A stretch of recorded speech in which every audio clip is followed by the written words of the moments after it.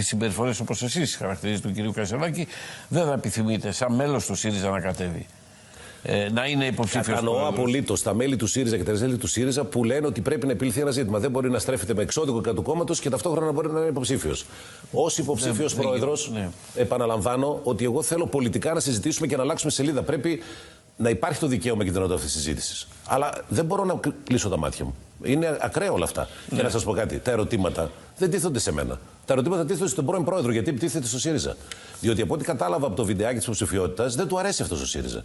Και τώρα, όχι απλά δεν του αρέσει, αλλά τίθεται και νομικά κατά του ΣΥΡΙΖΑ. Είναι, είναι, είναι ακραία. Σε κάθε περίπτωση όμως, εγώ, επειδή έχουμε κεντρική επιτροπή, θέλω και να συζητήσουμε Ναι. Θέλω τους στόχους, να το... προχωρήσουμε. αυτό τα λίγα λεπτά. Πάντως, διαγραφής, θα σας έλεγα ειλικρινά, κύριε Χατζή, ότι εγώ θα προτιμούσα να διαγραφεί τουλάχιστον το τελευταίο εξάμενο της αρνητικής πορείας μας. Αυτό χρειάζεται η κοινωνία. Χρειάζεται να διορθώσουμε τα λάθη μας. Καταλάβατε, πολιτικά Συνεπώς το και ο κύριος αντιμετωπίζω. Κασελάκης; Όχι, όχι. Τα πολι- πολιτικά να διορθωθούν τα λάθη θέλω.